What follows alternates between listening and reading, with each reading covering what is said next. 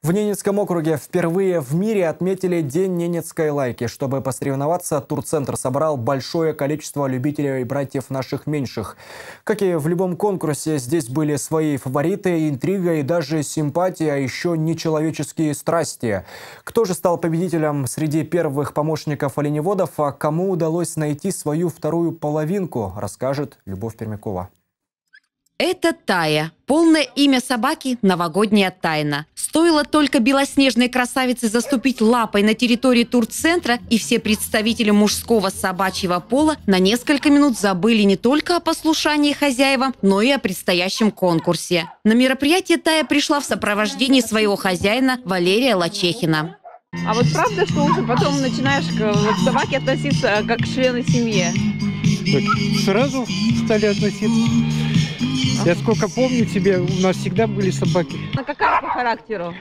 Она очень добрая и общительная, но хороший охотник. А еще Тая очень приветливая.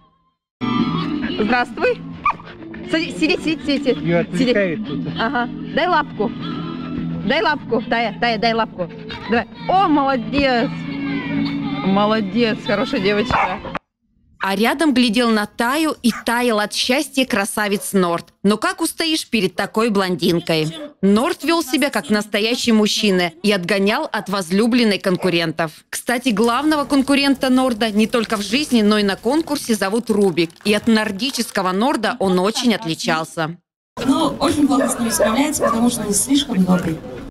Если Рубик на этом конкурсе был очень весел и вращался вокруг своей оси словно юла, то одной из участниц конкурса, рыжеволосой Тюне, потребовалась психологическая помощь. В роли психиатра и наставника выступил Коля Шаман. То ли Колины наставления помогли, или любовь хозяина, но Тюня с заданиями справилась великолепно. А вот собачка по кличке Андрей от бега с препятствиями отказалась, ведь ее ассистент и тезка Андрей Вокуев без труда за него преодолел все препятствия. И только белый бим, черное ухо и хозяина слушался и с заданием справился. А чего ему волноваться? Памятник при жизни у него уже есть. После прохождения спортсменами всех испытаний, проходки, показа прикуса и бега с препятствиями, жюри, в составе которого входили профессиональный кинолог Анжелика Макаренко, хозяйка чуматеки Ирина Коткина и директор туристического центра Матвей Чупров ненадолго удалились. И вот они, долгожданные номинации. Обаяние завоевала рыжеволосая Тюня. Звание «Мистер Лайк» достался Биму. Красой Заполярье, бессомненно, стала Тая. Пес ученым – Рубик. Позитив – пес Андрей. И абсолютный победитель Ненецкая лайка Норд.